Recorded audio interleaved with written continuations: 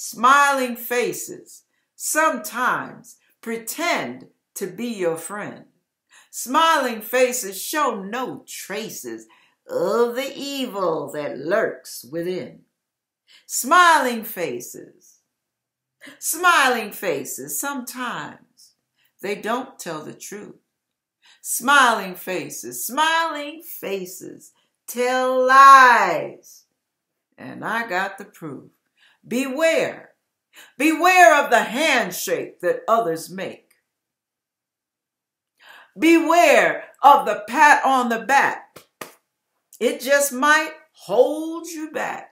Jealousy, misery, envy. I tell you, you can't see behind smiling faces.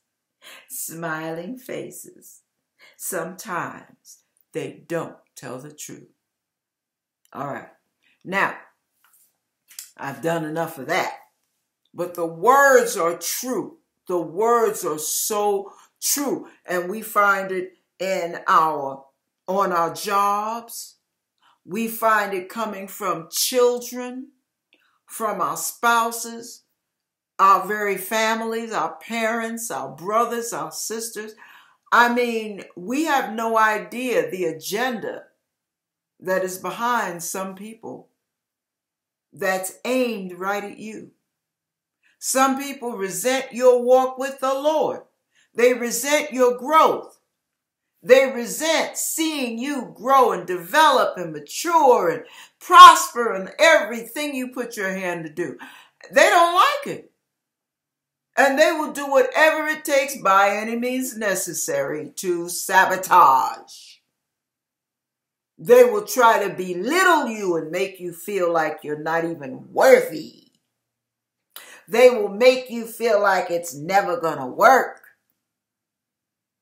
They will make you feel like you never get anything right. You know how you mess everything up.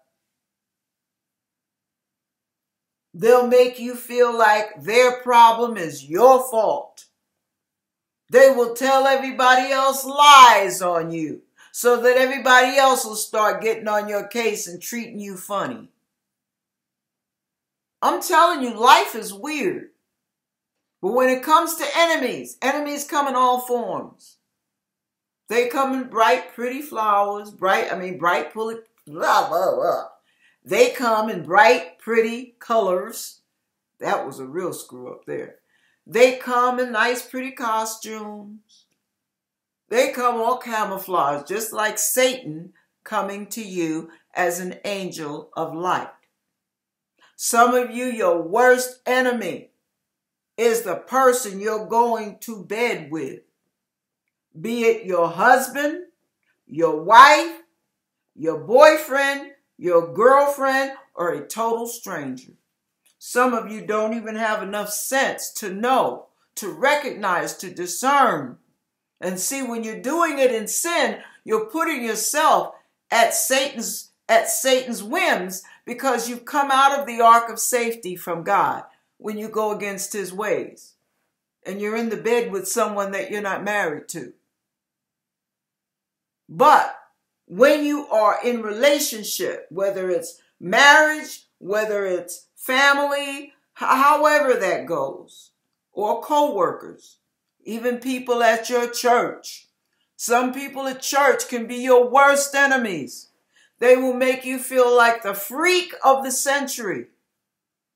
Like, what could God ever do with something as weird and off and as messed up as you? I'm telling you, God will handle them. You do not have to handle them. God will handle them. You do not have to defend your ways. You don't have to defend who you are or what you plan. You have to uh, obey what God tells you to do. You have to be who God tells you to be.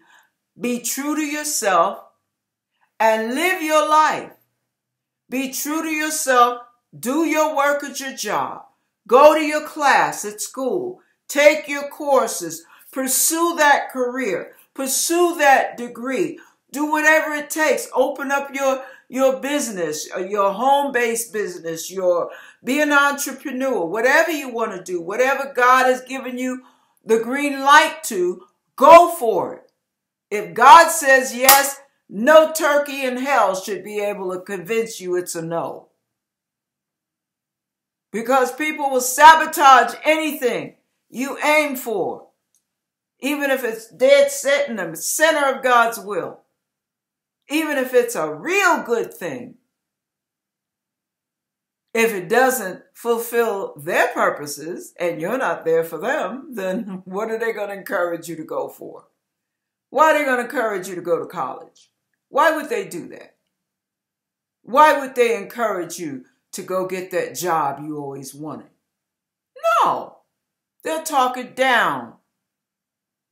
See, enemies are very sly. They're sly, slick, and wicked and they will pat you on the back with a smile.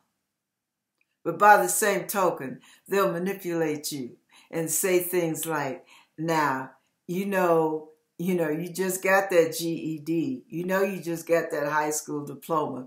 Why don't you wait a few years and think about it?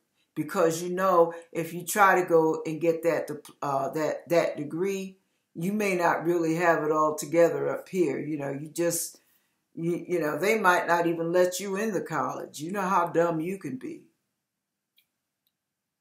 Really? With a pat on the back and a smile. Hmm. With friends like that, baby, you don't need enemies.